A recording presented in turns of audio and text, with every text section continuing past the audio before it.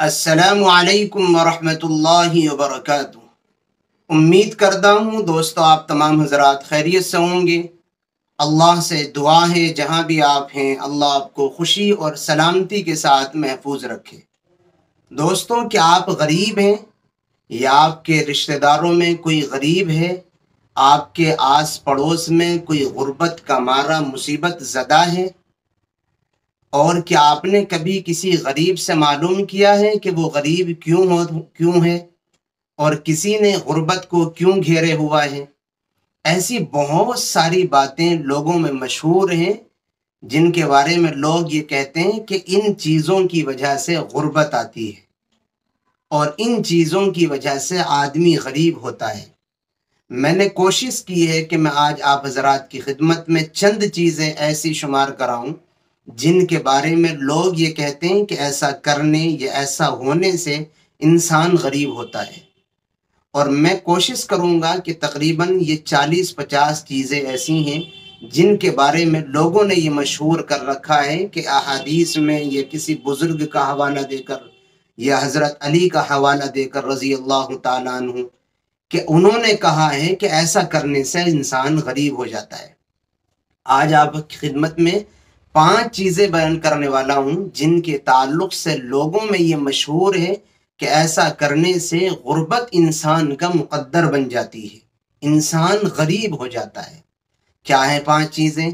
पहली चीज़ है गसल खाने में पेशाब करने से इंसान गरीब होता है, अवाम में ये मशहूर है।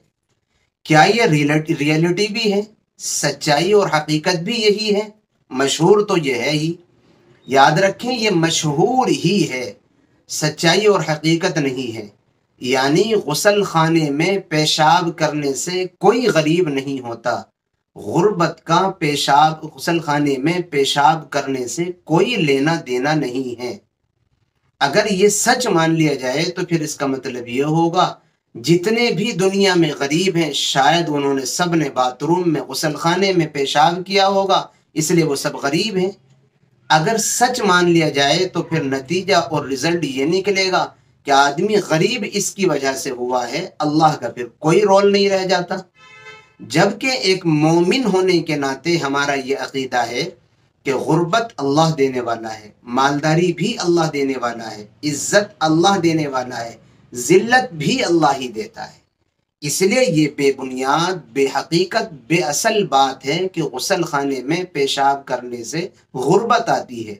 हाँ इतना ज़रूर है कि अहादीस में जनाब रसूलुल्लाह सल्लल्लाहु अलैहि वसल्लम ने गसल खाने में पेशाब करने से मना किया है और उसकी वजह यह है कि इससे वहम और इसी तरीके पर शक की, शुबे की बीमारी पैदा हो सकती है। आदमी उसी उसल खाने में पेशाब करे और उसी में फिर नहाए। तो वहम पैदा हो सकता है। पता नहीं, वो पानी जब नीचे गिरा तो उसकी छींटे मेरे ऊपर आई। मैं पाक भी हुआ या नहीं? तो इस शक और शुबे से बचने के लिए यूँ कहा गया कि बाथरूम और गसल खाने को पेशाब के लिए इस्तेमाल ही ना किया जाए। लेकिन गुर्बत से इसका कोई लेना देना नहीं ऐसे ही दूसरी बात एक जो मशहूर है कि टूटा हुआ सामान इस्तेमाल करने से भी गुर्बत आती है। याद रखें कि अगर आपके पास कोई सही और सालिम सामान है, बर्तन है तो आप उसी को इस्तेमाल करें। टूटे हुए को अच्छे के होते हुए इस्तेमाल ना करें। लेकिन जहाँ तक बात है कि ऐसा करने से गुर्बत आती ही या नहीं, इसका इससे कोई लेना देना नहीं है। रसूलुल्लाह सल्लल्लाहु अलैहि वसल्लम ने टूटे हुए बर्तन और सामान इस्तेमाल करने से इसलिए मना फरमाया है कि कहीं उन टूटी हुई चीज़ को इस्तेमाल करने की वजह से इंसान ज़ख्मी ना हो जाए। मिसाल के तौर पर टूटे हुए गिलास से पानी पी रहा है, कहीं वो टूटी हुई जगह ज़बान पर या किसी और जगह पर लग कर के उससे ज़ख्म न पहुँच जाए। वरना टूटे हुए बर्तन के इस्तेमाल करने से कोई गरीब नहीं होता और इस सिलसिले में अहादीस में कुछ भी नहीं कहा गया है। ऐसे ही एक बात और मशहूर है कि आमदनी से ज़्यादा खर्च करने से भी गुर्बत आती है। याद रखें, कोई ये बात कुरान हदीस में तो नहीं है कि आदमी आमदनी से ज़्यादा खर्च करेगा तो गरीब हो जाएगा। हाँ इतना ज़रूर है कि जितनी चादर है, उतने ही पैर फैलाने चाहिए। अगर चादर से बाहर पैर फैलाएँगे तो किसी भी मामले में हो आदमी परेशान ही होगा। जब आमदनी से ज़्यादा खर्च करेगा तो फिर कर्ज लेना पड़ेगा। और जब कर्ज लेगा तो फिर गरीब खुद ही हो जाएगा। तो ये ऑटोमेटिक से एक सिस्टम सी बात है। इसका कुरान हदीस में कोई तस्करा और कोई हकीकत या कोई बात इस ताल्लुक से मौजूद नहीं है। चौथी बात, एक और बात मशहूर है कि झूठी और गलत कस्में खाने से भी इंसान गरीब होता है। याद रखें, झूठी और गलत कस्में खाने से भी गुर्बत का कोई लेना देना नहीं है। यानी ये बेहकीकत बात है कि इंसान झूठी और गलत कसम अगर खा ले तो वो गरीब हो जाता है, ये उसको गुर्बत घेर लेती है।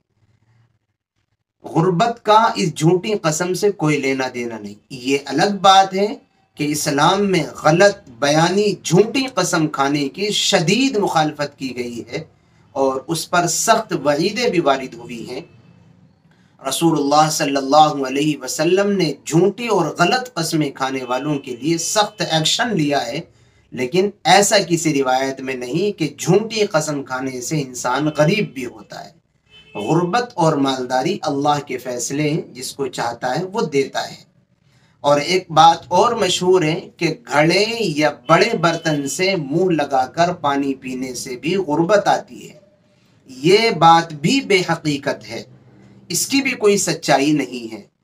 रसूलुल्लाह सल्लल्लाहु अलैहि वसल्लम ने कहीं भी ये नहीं फरमाया और इस्लाम में कहीं भी ये मौजूद नहीं है कि घड़े या बड़े बर्तन से पानी पीने से इंसान गरीब होता है। हाँ इतना ज़रूर है कि पैगंबर आज़म जनाब मोहम्मद वसल्लम ने बड़े बर्तन और घड़े से मुँह लगा करके पानी पीने से मना फरमाया है। इसलिए ताकि अगर बड़े बर्तन से इंसान पानी मुँह लगा करके पी रहा है तो पानी ज़्यादा लगने चले जाने का भी ख़तरा है, जिससे धसका उठ सकता है और आदमी को अजियत पहुँच सकती है। और एक वजह ये बयान फरमाई कि बड़े बर्तन से अगर पानी पियोगे तो कभी कभी ज़्यादा पानी और बड़े बर्तन में पानी होने की वजह से कचरा वगैरह भी गिर जाता है, लेकिन वो ज़्यादा पानी होने की वजह से नज़र नहीं आता। और वो पानी उस उससे मुँह लगाने की वजह से वो कचरा अंदर चला जाता है। इसलिए आफियत इसी में है कि छोटे बर्तन में लेकर के पी लिया जाए। लेकिन जहाँ तक बात है गरीब होने की, कि आदमी अगर बड़े बर्तन या घड़े से मुँह लगा करके पी लेगा तो वो गरीब होगा। ये बेअसल, बेहकीकत बात है और ऐसी बहुत सारी बातें और मशहूर है आवाम में। मैं कोशिश करूँगा सारी बातें आपके सामने लाऊं। ये हमारा आज इस टॉपिक का पहला पार्ट है।